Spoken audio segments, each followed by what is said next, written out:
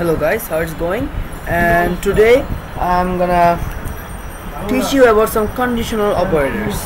So what's about conditional conditional operators? As um, we say 5 is greater than 3 or 3 is equal to 1 or something like that. So let me uh, add a comment and just uh, let me uh, do some easier for you learn. Now this, this is a less than operator. This is a greater than operator. This is the less than or equal to operator greater than or equal to operator. Or you can uh, you can also say not equal to operator. Is the equal to operator. So let me uh, evaluate this on function. Let me uh, introduce a as 4 then I'll create another if statement so sorry if is a is less than 5 then um, okay. If a is less than 5 then begin and I'll end.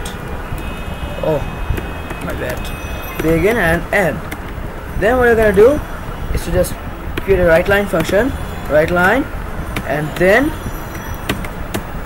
write line and then uh, a sorry a is less than 4 okay? And then what I'm gonna do uh, else if I'm gonna else if and I'm gonna write if a is greater than 5 then begin and end.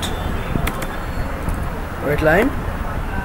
Right oh, right write line and then um, a is greater than 5 okay now that's all right. And now what I'm gonna do is to create an else statement. Else begin and end. And we put a semicolon sign over there. And uh,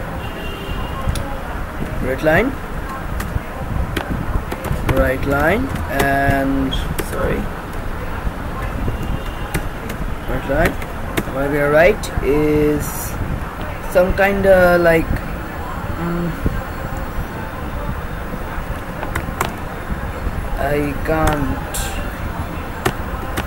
progress it. Okay. Now let us come and go ahead and run it. I think it should be printed out a is less than 4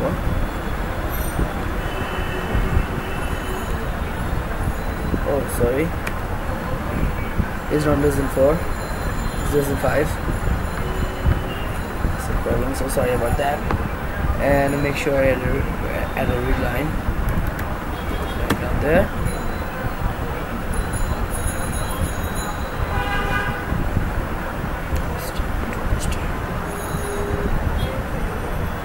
which uh, what's that? Okay. Is less than 5 okay that this is printed on the screen. And that's how you can uh, that's how you can add uh, you can use the conditional operators in a statement or while statement. Or while loop you'll learn about that later. For loops while for loops you'll learn about that later. So thanks guys for watching and uh, subscribe for more